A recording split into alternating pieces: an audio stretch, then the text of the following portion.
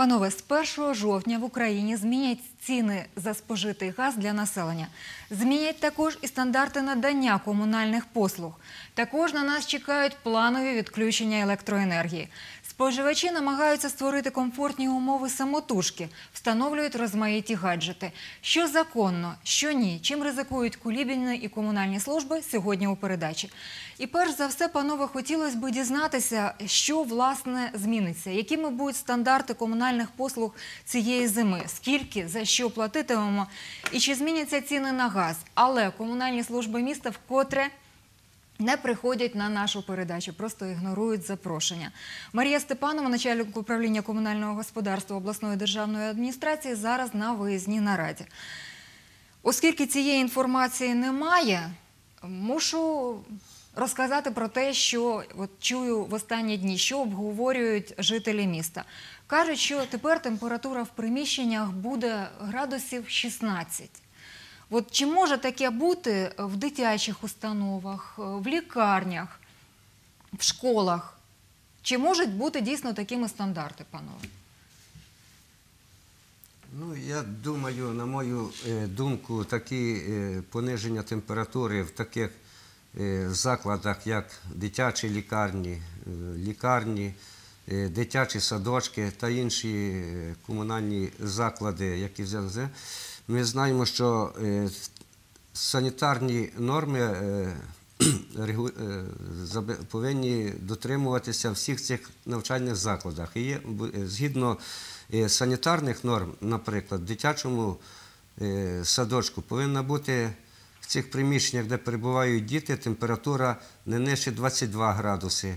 В школах допускається температура е, 18 найнижча 19 градусів. В середньому при розрахунку е, потужності системи опалення е, береться температура згідно відповідних будівельних норм е, 20 градусів. При зовнішня температура приймається мінус 22 градуси для нашої е, першої температурної зони.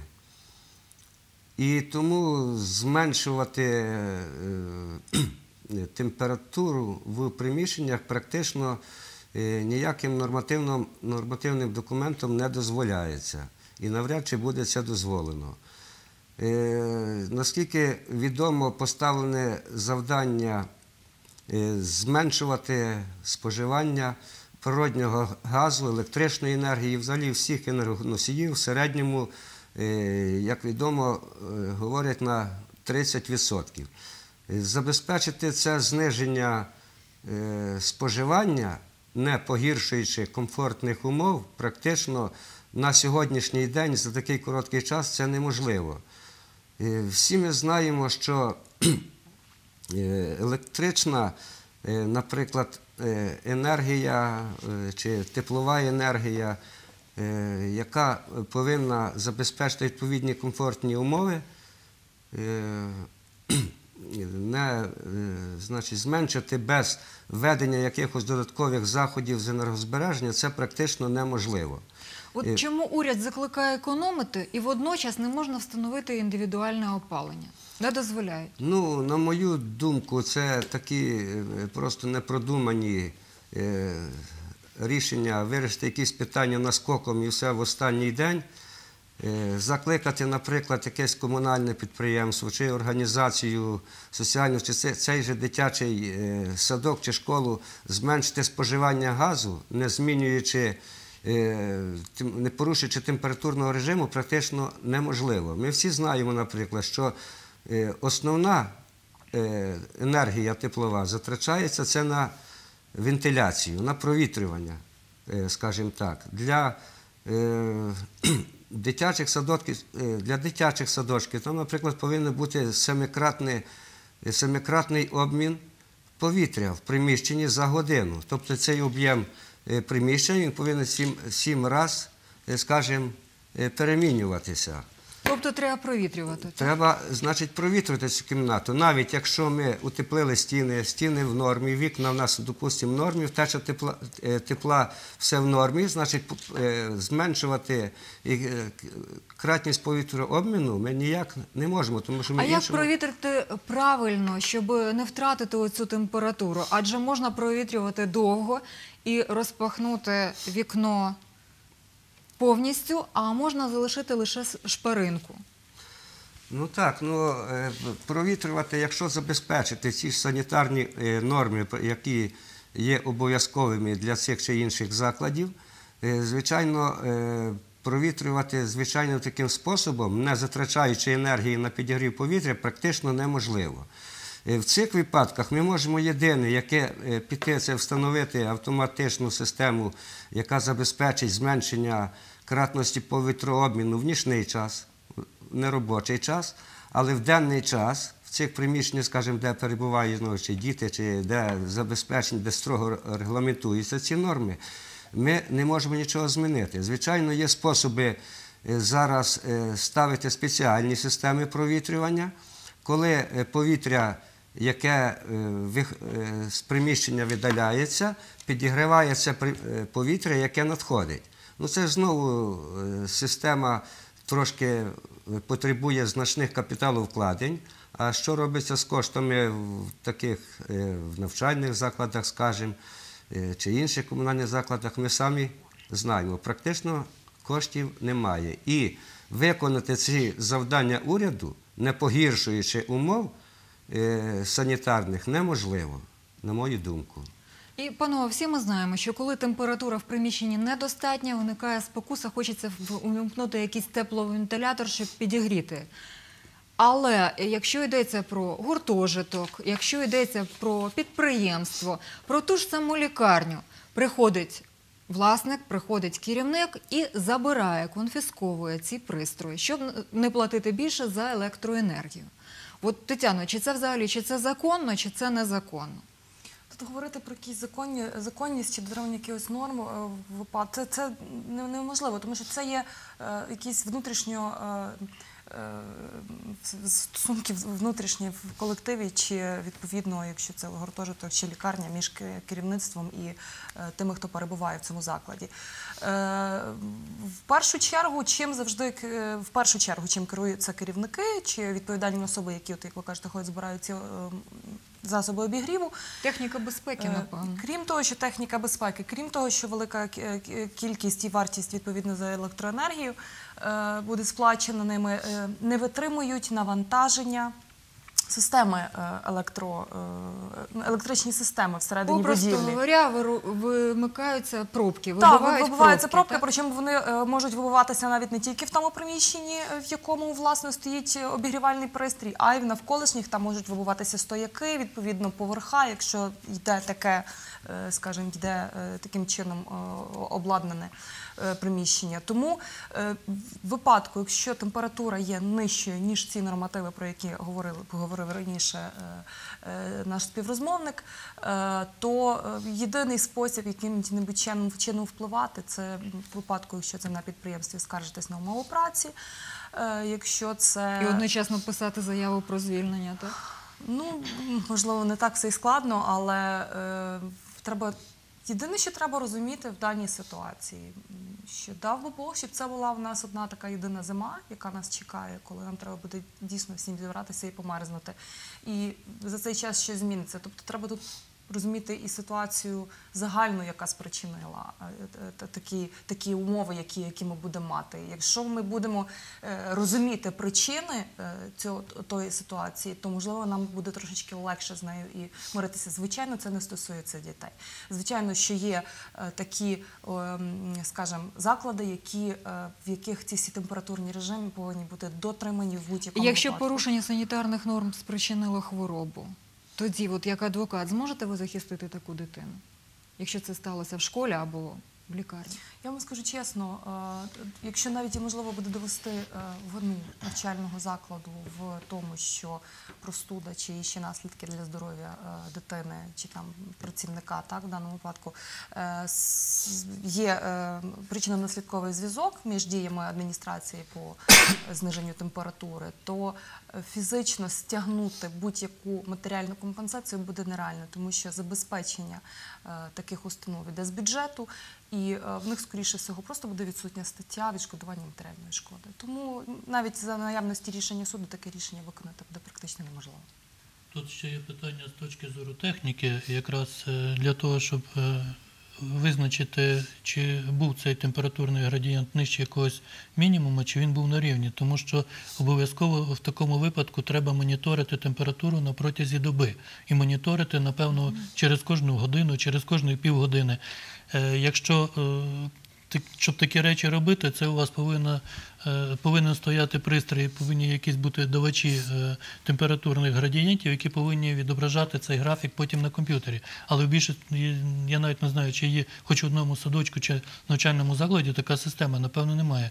З І точки досить зору. часто всі на ніч скручують тепло, Е, а потім ну, день на ніч це зрозуміло, що це в принципі правильно роблять, але мається на увазі в день, е, що ви відслідкували графік якраз е, цього температурного градієнта, то повинна е, стояти е, ціла система контролю діагностики.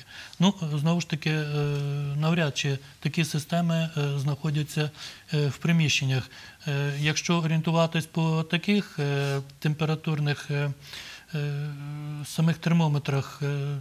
Тут знову ж таки вони не мають юридичної підстави, а заодно з точки зору вони повинні бути повірені і достовірність, якщо у вас вона не відображена через е, комп'ютерну діагностику, знову ж таки е, працює людський фактор. Чи там був 21 градус, чи ви записали 22 градуси.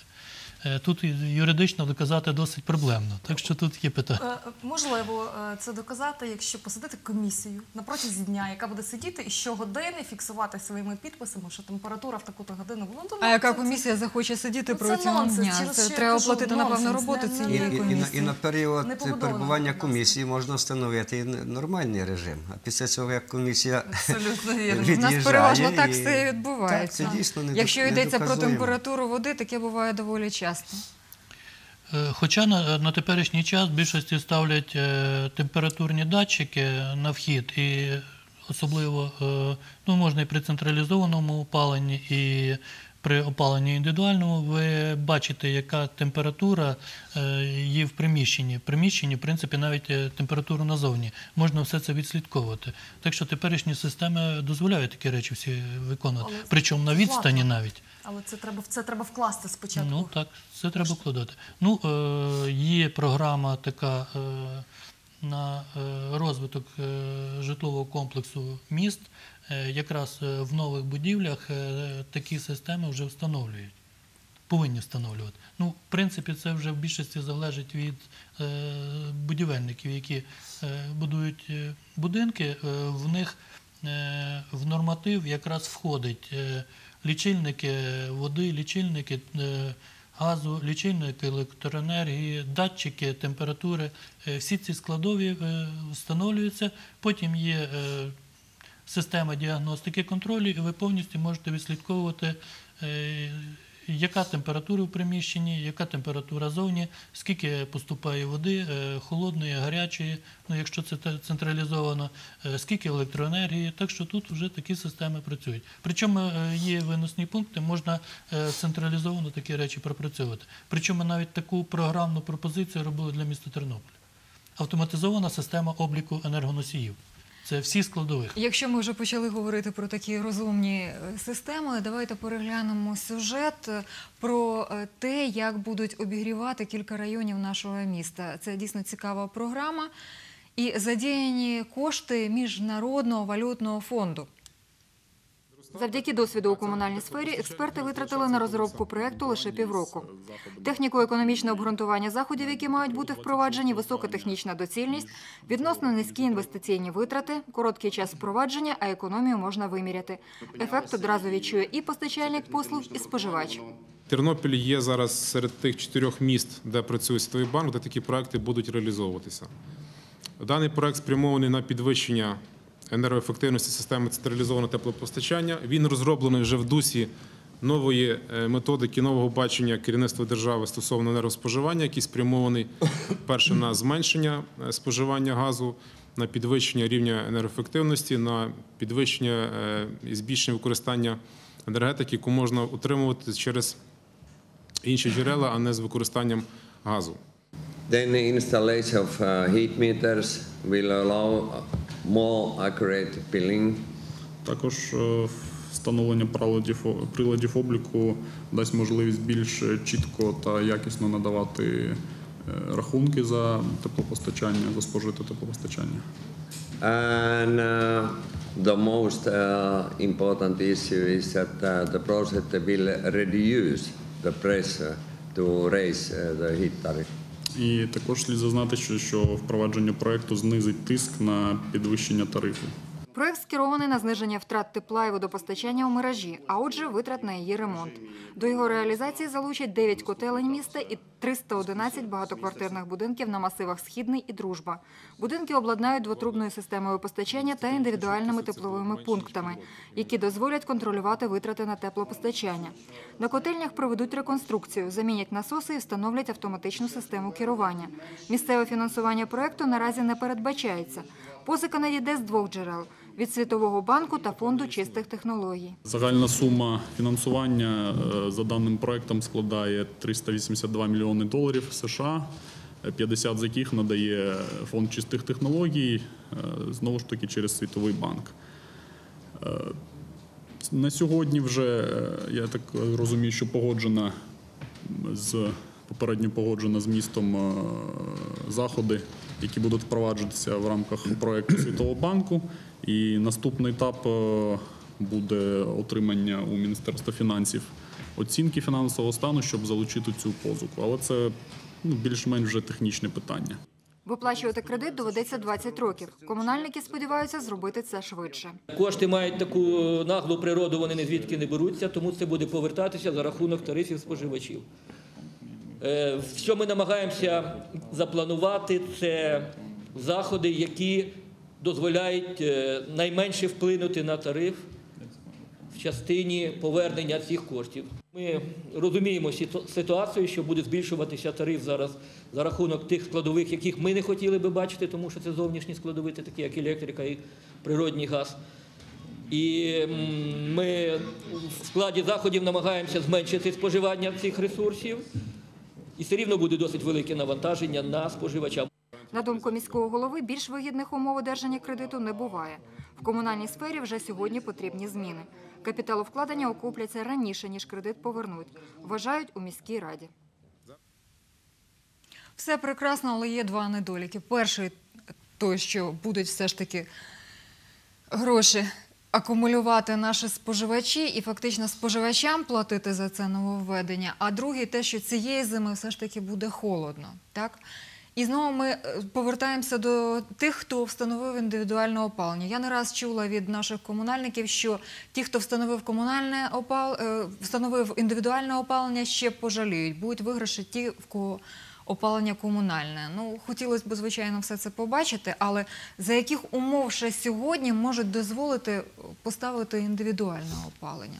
Бувають же ж випадки, коли на стояку є лише одна квартира під'єднана до комунального опалення. Жила бабуся, Її влаштовувало комунальне опалення, приїхали інші люди, їх вже не влаштовує. І економічно невигідно десь одну квартиру гріти, якщо на стояку всі решта мають індивідуальне опалення. Так? Це рішення власне повинно прийматися комісією е, відповідною е, при міській раді, е, оскільки дійсно ну тут стільки навіть не про стояк мова йде, йде чітко прописано у відповідній постанові Кабінету міністрів про окремий житловий будинок. Тобто умови абсолютно з одного боку несправедливі, якщо будинок в більшості квартир не обладнаний е, е, індивідуальним опаленням, тобто говорити про якісь е, відключення його тут важко, тому що не одно у всіх жителів однорідний там однорідні прибутки. І якщо хтось собі хотів би і міг би дозволити зараз це індивідуальне опалення, то як ви кажете, інша бабуся ну ніяк не готова скажімо, це зробити. З іншого боку, от я особисто ст- стикалась з ним. В одному з будинків, е, в якому я жила 45-квартирний будинок, на даний момент залишилась лише одна квартира, яка підключена до централізованого опалення. Там дійсно е, живе людина похилого віку. Е, При цьому, наскільки мені відомо, ну знову ж таки, я не володію офіційно цією інформацією. Я абсолютно як людина, яка просто чула про цю ситуацію, можу сказати, що їй, цій людині пропонували на пільгових умовах, по-моєму, навіть з розстроченням платежу, можливість отримання кредиту для встановлення цього опалення, оскільки тільки заради цієї однієї квартири е, до цього будинку ведеться е, централізоване опалення. Тобто, я наскільки в такому випадку дійсно є зміст говорити про, е, можливість видачі дозволу. Е, Стосовно справедлив... е, несправедливості в цілому і, того, чи пожаліють колись е, ті, хто встановив індивідуальне опалення. Ну не знаю, мене таке враження, що поки е, е, дійсно умови якісь будуть такі, щоб вони пожаліли, вони економлять і економлять. Оскільки, е, якщо порівняти, скільки платить за опалення в рік квартира, яка підключена до централізованої системи опалення, і квартира, яка знаходиться такого ж аналогічного метражу за на обладнана системою індивідуального опалення, різниця суттєва. Про це не завжди задумуються, чому так. Там можливо хтось думає, що просто це за рахунок того, що е, в ці тарифи забиваються втрати, е, які неможливо облікувати теплової електроенергії, е, ті втрати, які як, як називаються в народі, гріють землю, поки е, це опалення дійде до будинку, е, е, м, що туди вноситься е, негласно е, опалення сходових кліток або таких загальних, е, ем, загальних площ. А е, основним моментом, чому є велика така велика різниця в ціні, те, що е, ціна за газ е, в е, за газ, який використовує котельня для обігріву централізованого опалення, вона як для промислового підприємства ст- практично в два рази більша, ніж ціна на газ, яка використовується споживачем, який, який, обладнав свою квартиру котлом індивідуального опалення. І у цьому вся різниця. Тому ну, пок- поки почнуть жаліти ті, хто встановив індивідуальне опалення, вони набагато більше зекономлять. Григорію Петровичу, а от як здають сьогодні нові будинки? Ну, Як їх проєктують? Що є там? Там є індивідуальне опалення, там є на кілька будинків одна котельня.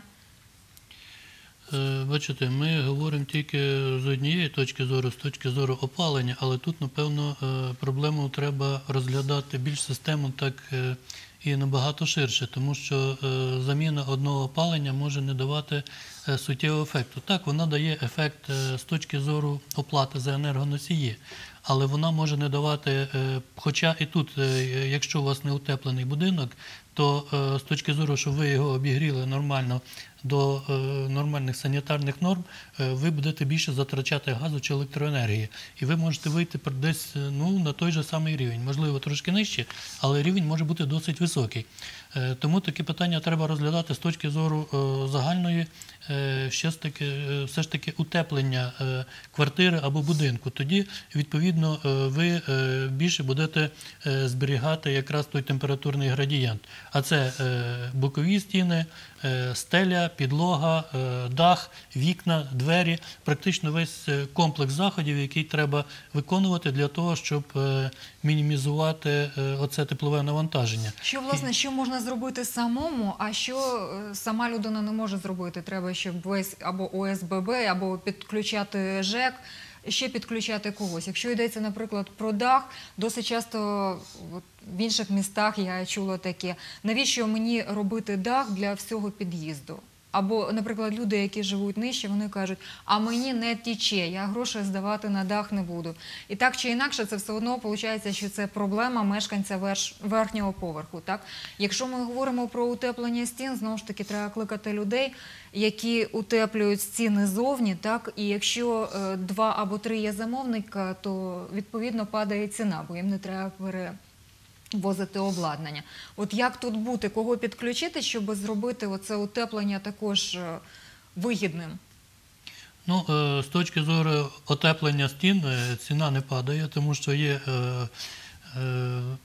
фірм норми, і згідно тих норм вони вам утеплюють стіни. Е, Там е, тільки нюанси є, е, чи це високі поверхи, чи це набагато нижче, тому що практично вони використовують на теперішній час, якщо багатоповерхових, е, альпіністське обладнання. І це хлопці, хлопці спеціально вже навчені, вони е, це виконують і вони е, е, пінопластом е, утеплюють, е, прикріплюють до зовнішніх стін, потім ще е, їх е, обробляють зверху, е, щоб не попадала волога, не накопичувалась, і таким чином утеплюють е, е, зовнішні стіни. Зовнішні стіни, балкони, е, такі речі роблять. Е, З точки зору дверей, е, ну тут вже кожен індивідуально підходить, е, які вибрати двері, особливо зовнішні, для того, щоб вони нормально функціонували і з точки зору захисту, і з точки зору збереження теплоти. Ну, а також і вікна. Для того, щоб вікна відповідали е, тим технічним характеристикам, що ви можете зберегти тепло. Не тільки для того, що е, ви можете зменшити е, шумовий ефект зовні, але для того, щоб е, у вас якраз е, тримався температурний градієнт і е, була е, відповідна теплопровідність е, вікон для того, щоб у вас е, тепло не виходило через е, віконні рами. Це теж треба обов'язково робити. Ну, а далі вже е, на е, передню складову е, виходить, е, яким чином створювати систему опалення. Якщо ви не бажаєте використовувати централізоване опалення і є можливість перейти на індивідуальне, хоча на теперішній час, якщо брати по нашому місту, наскільки я знаю, таких дозволів не дають. Але нові будинки, які будуються, е, вони е, рідко підключають до е, тепломагістралей. В більшості вони носять, вони вже будують так з розрахунком на індивідуальне, е, на індивідуальний обігрів. І тоді, відповідно, ви вже або вам рекомендують, або ви встановлюєте котла. Ну, раніше завжди був пріоритет газовий. Тому що він е, практично газ був найдешевший. Ну на теперішній А час? Е, Ну, на теперішній час є альтернатив. Одна із альтернатив це електричні. Ну, але тут е, знову ж таки ще одна складова виступає досить така серйозна це електронавантаження на мережу.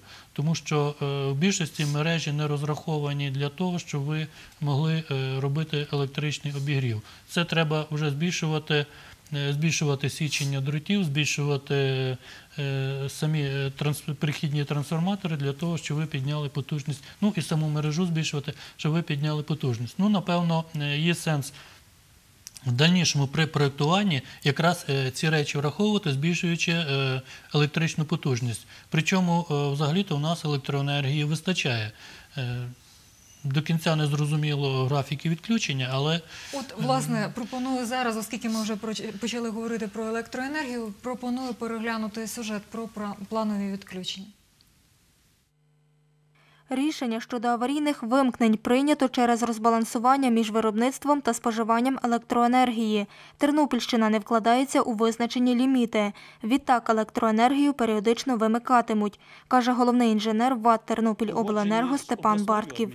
не досягнуто того завдання, яке ми повинні досягнути по споживанню електроенергії і потужності, особливо в е, пік навантаження. То є ранішній максимум десь порядку з 8 до 11 години і з 20 до 23 години вечора. Тому е, Міністерство палива і енергетики погодило от, е, для більш ефективного впровадження зниження споживання електричної енергії і потужності застосовувати графіки аварійних вимкнень. Кількість аварійних вимкнень електроенергії залежить від споживачів. Якщо електромережі не будуть перевантажувати у години пік, то вимикатимуть електроенергію рідше, зауважує Степан Бартків. Якщо люди будуть, наприклад, е, е, економно е, відноситися до споживання електроенергії і потужності, тобто в ранішній час пік навантаження, вечірній, не вмикати енергоємних струмоприймачів, тобто праски, пральні машини, е, електрочайники, мікрохвильові печі і так далі, нагрівальні прилади, то ми зможемо легше проходити оці періоди. Тобто нам буде потрібно менше вимикати примусово. Вимикатимуть електроенергію тільки для населення. Вимикатимуть тільки для населення, а знову ж таки коли? Це має бути, напевно, якийсь графік, і ми маємо бути про це попереджені. Чи все залежить від того, наскільки мережа перевантажена?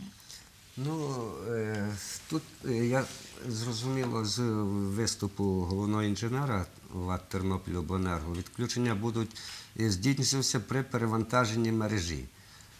Е, Знову ж таки, тут е, питання таке досить складне, що дуже важко зрозуміти, е, чи взагалі забезпечить це зменшення споживання електроенергії. Звичайно, встановлені ліміти і енергопостачальна компанія ВАТ Тернопільобленерго повинна дотримуватись цих лімітів.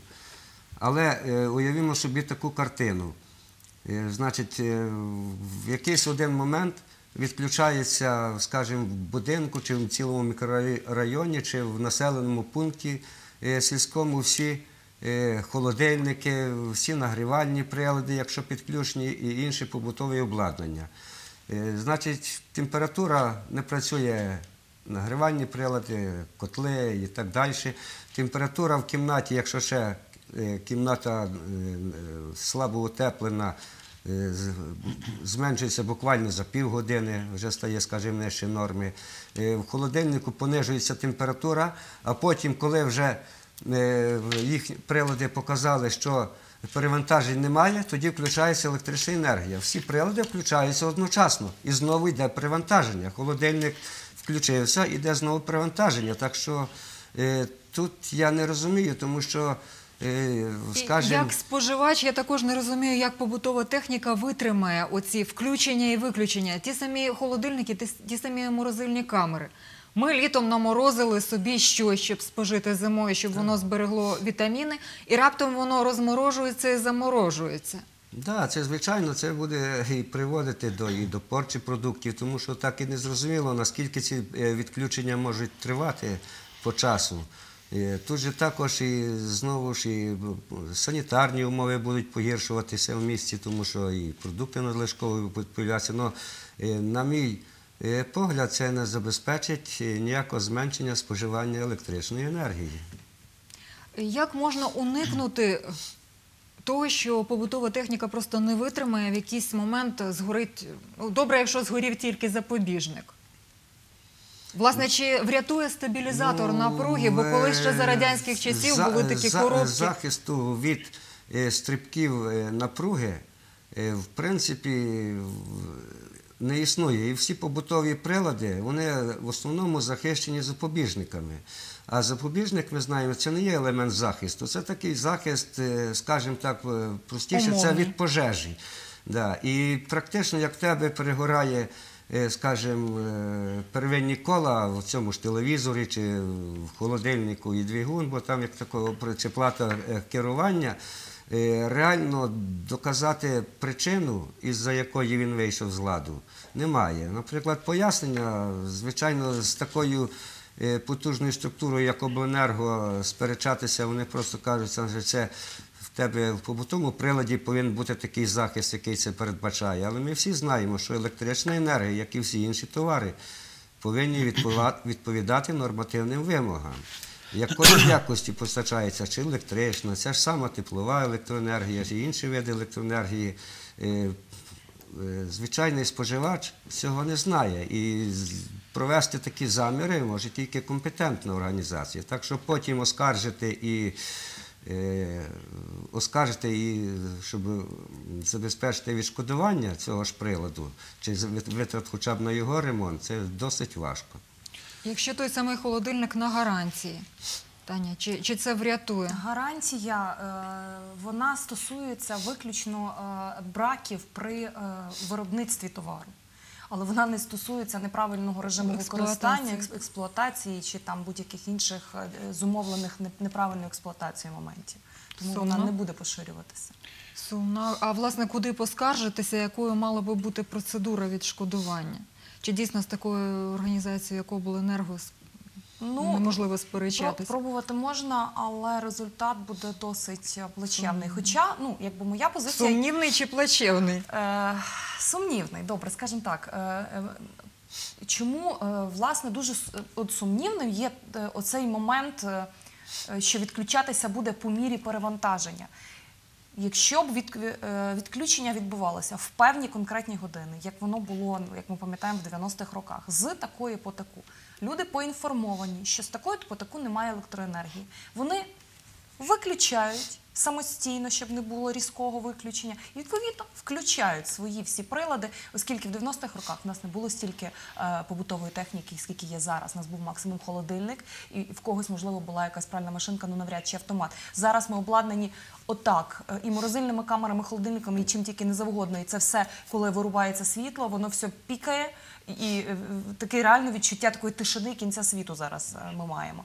Е, Тому, якби це воно було планове, ем, важче було б навіть споживачам мати якісь претензії до енергопостачальної компанії, оскільки е, вас же попередили, є же графіки.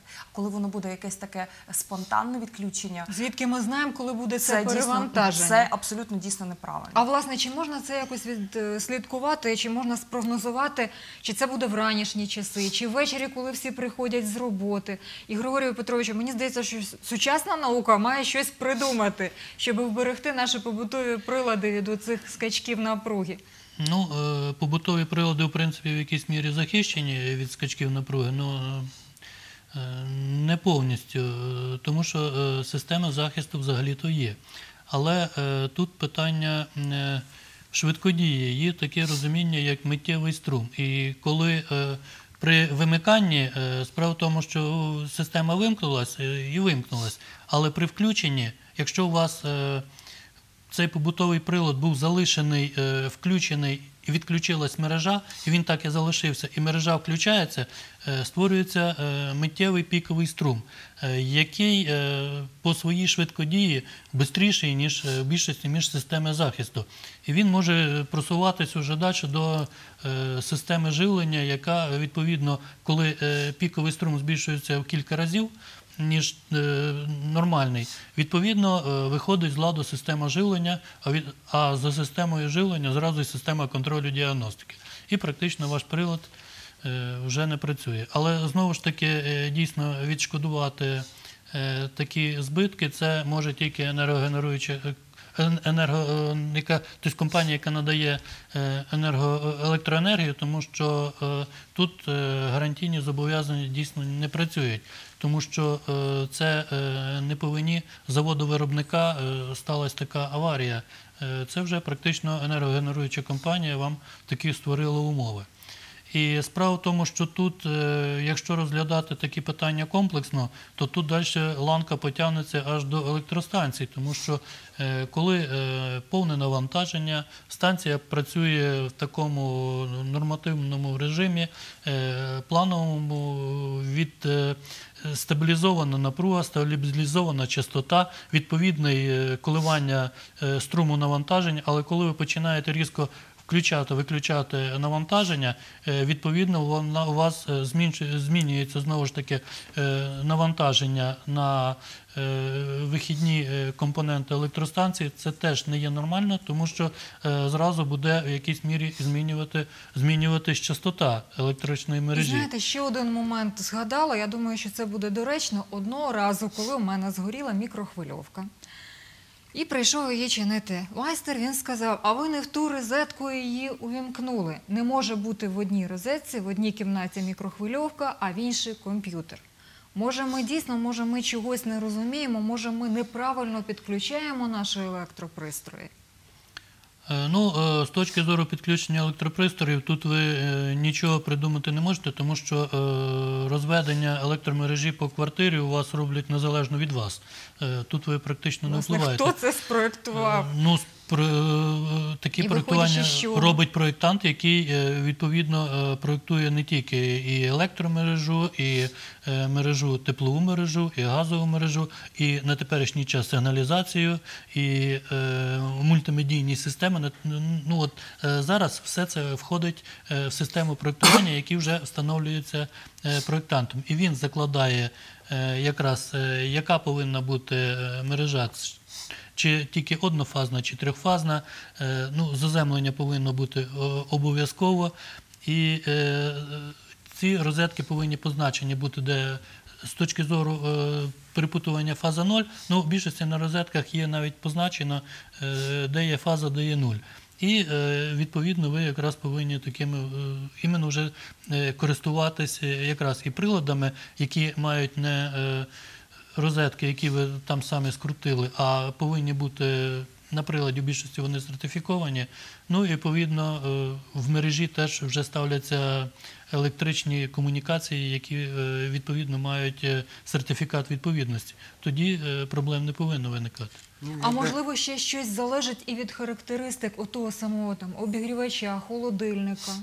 Ну, основна характеристика це потужність, яку забирає той чи інший електричний прилад. Якщо у вас е, розетка, е, струм в розетці не розрахований, е, або е, сама мережа не розрахована на таку потужність, відповідно, у вас буде, е, якщо у вас стоять е, електричні е, вимикачі. е, Автономні, то в принципі вони автоматично вам будуть відключати мережу, якщо йде перенавантаження. Якщо у вас е, нормальна мережа, ну перенавантаження не буде. Е, Якщо брати на теперішній час, дійсно ми е, маємо досить багато е, електроприладів різних. Це і праски, і мікрохвильовки, і холодильники, і е, пральні машини, і м, посудомиючні машини. Е, ну, можна навіть і більше назвати. І середня потужність десь коливається від 1 до 2 кВт. Якщо ви одночасно все це включаєте в мережу, дійсно мережа квартири може не витримати. Е, Ставлять е, більше е, автоматичні вимикачі, наприклад, не на, там не на 15 чи на 25 ампер, ставлять на 50. Дійсно, вимикач не включається, починає горіти загальна мережа. У вас іде, е, якщо однофазна мережа, там же е, різні споживачі на три різні фази. У вас починається відбуватись сув, тобто перекос фаз із сув. От тоді реактивна починає, починає е, йти нагрівання проводів. Ну, то вже тягне за Ось від собою чого цілу буває систему. перекос фаз, так і сув. Ну, я найбільше ще- ще хотів до цього всього додати, що найбільше е, значить, турбує, думаю, юридична сторона більше це знає, що ні в якому, е, ніяким ні законом про електроенергетику, ні правилами користування електричною енергією, ні іншими нормативними документами не регламентується час відключення побутових споживачів. Немає мінімального часу. Скажімо, для споживачів першої і другої категорії по споживанню там є час, скажімо, 2 години, на годину, може А бути що таке максимально перша і що таке друга відключення. категорія? Ну, це е, від кількості споживання електроенергії і по залежності від напруги, е, висока напруга, яка береться і так далі. Це для великих підприємств. Е, Які мають... А для а побуті не, ре- не регламентується. Може бути відключення і 2 години, і день, і 3. Так що тут ми ніяк не можемо на це впливати. І 3 дні, і тиждень, і місяць не буде електрики.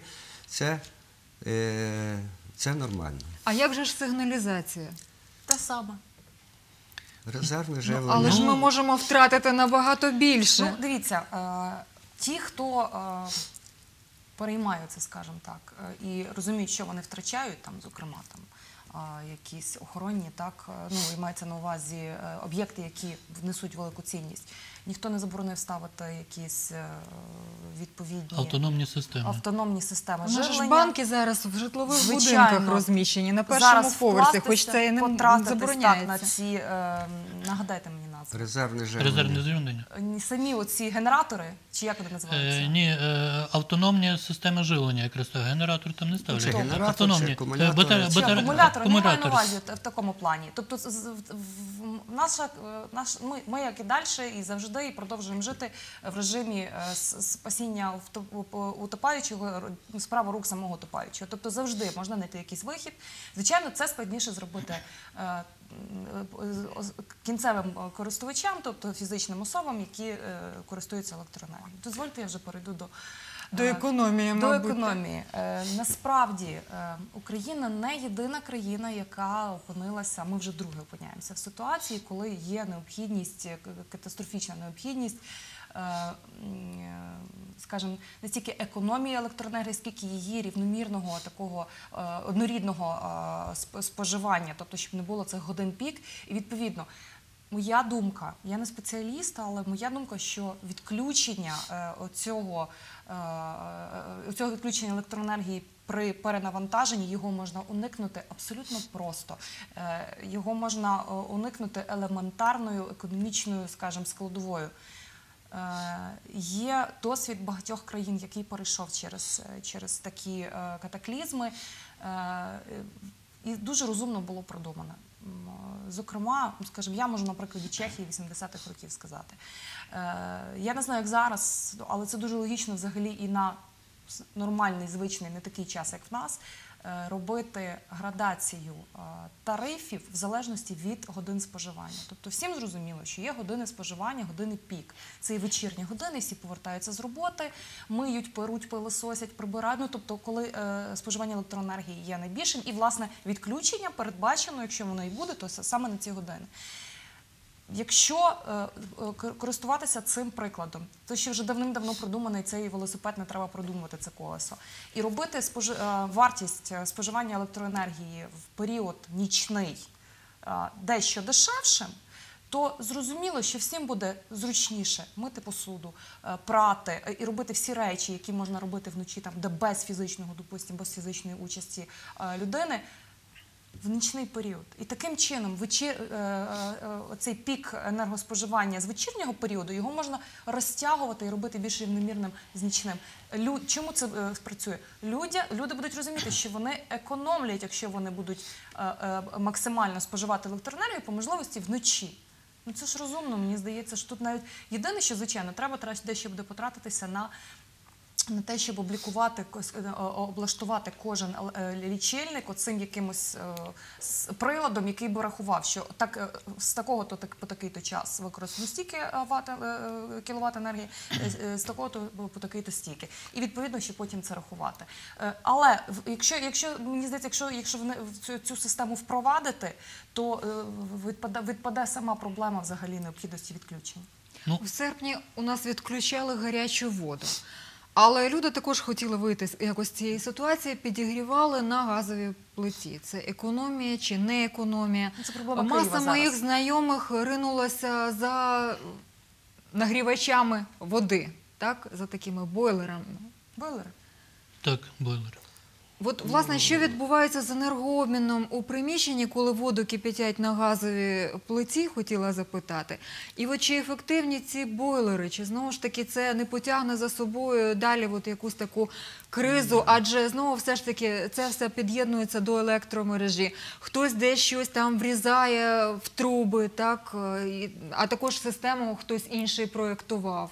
Ну, тут що можна сказати? Е, Підігрів, підігрів води, звичайно, якщо ви будете її самі нагрівати на газі, це, звичайно, буде е, значно дешевше. Тому що якщо вам нагріває така потужна компанія воду, як Теплокомуненерго, і ви платите е, не тільки за газ, е, і ще й причому по вищих цінах, Е, ви платите за е, купівлю їхнього обладнання на поточні ремонти, причому е, не завжди за мінімальними цінами. Ви також оплачуєте їхні високі зарплати. Звичайно, коли ви нагріваєте самі воду на газі, ще й за дешевим тарифом, це буде значно дешевше.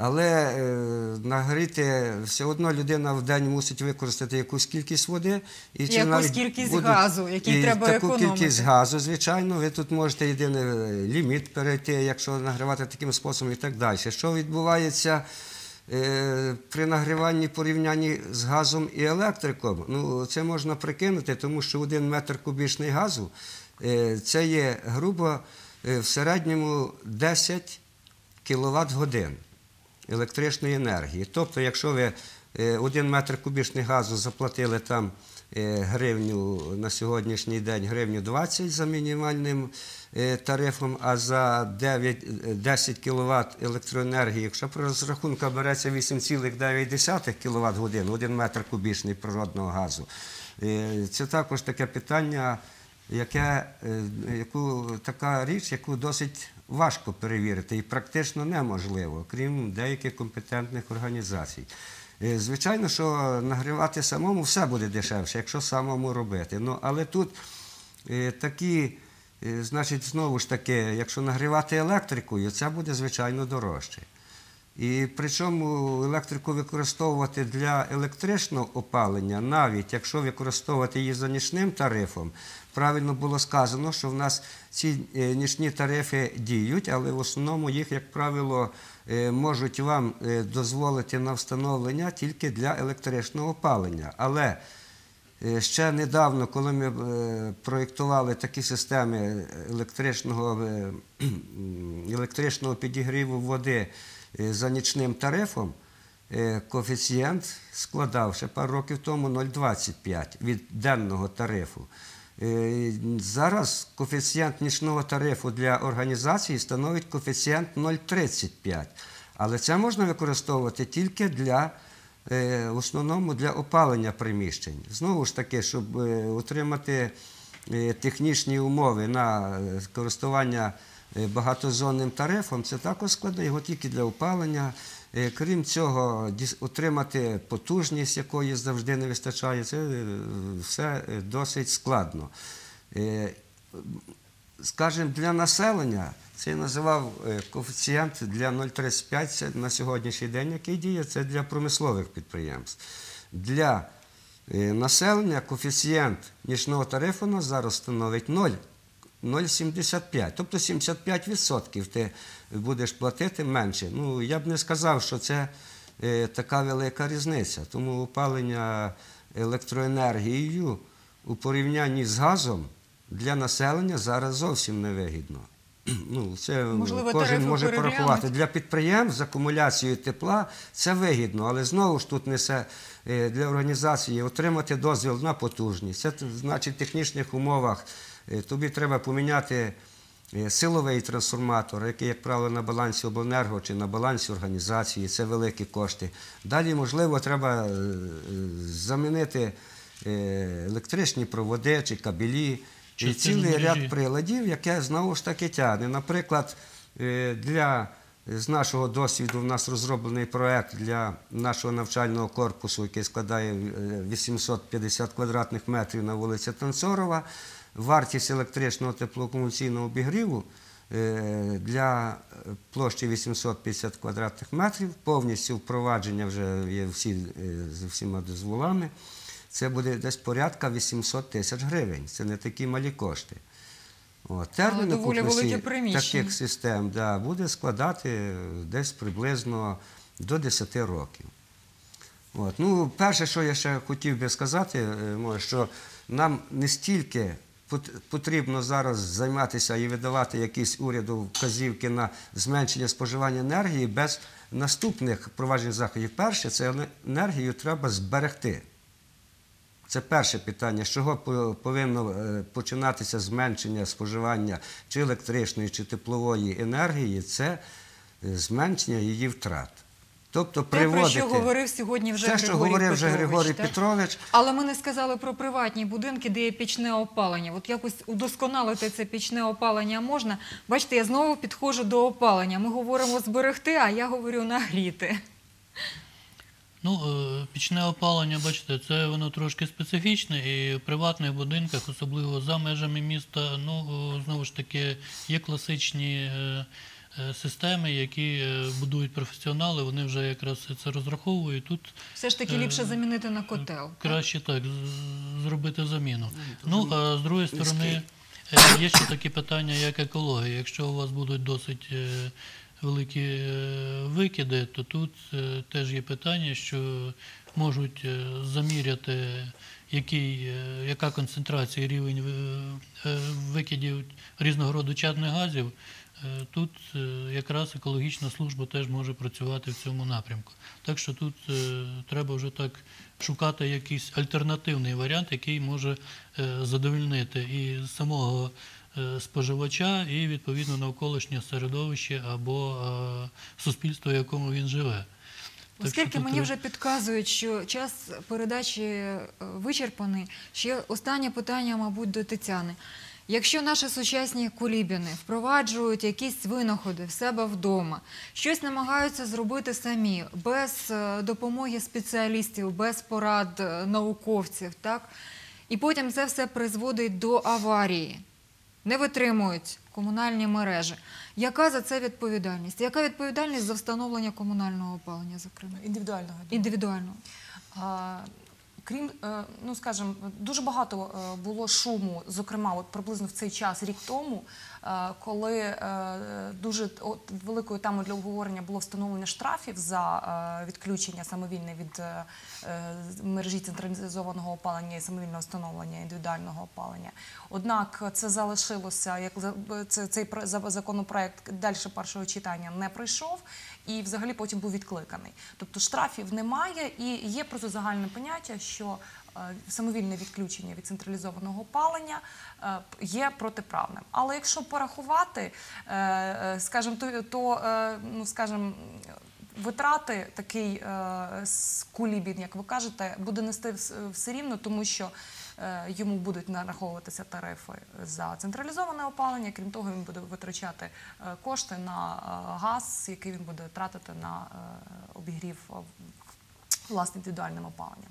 Тому відповідальність додатково вже нема змісту встановлювати. Людина і так несе, е, скажімо, витрати додаткові.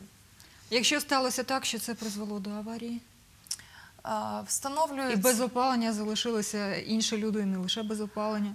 Е, Якщо мова йде про, е, Може статися про багатоквартирний будинок, звичайно, що там відповідні відповідно е, встановлюються, скажімо, причини, е, хто став. Е, Якщо, якщо є неправомірне втручання, і це принесло збитки, звичайно, що е, е, такі збитки потрібно відшкодовувати.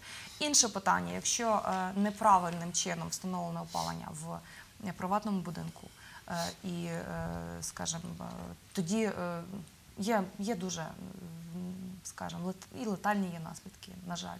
Тоді вже встановлюють відповідні органи, відповідно, е, хто, хто є винуватцем, чи є взагалі склад е, кримінального по- по- порушення, і встановлюється відповідно в кожному окремому випадку. Що ж, панове, хай досягнення науково-технічного прогресу і поради наших науковців підуть вам лише на користь, а ризику у вашому житті буде якнайменше. До зустрічі!